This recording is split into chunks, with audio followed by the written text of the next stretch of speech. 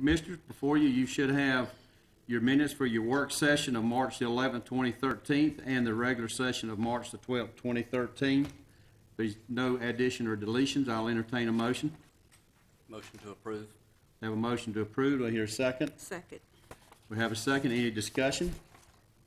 Hearing none, signify by aye. Aye. Like sign, any opposed? Hearing none, they're approved.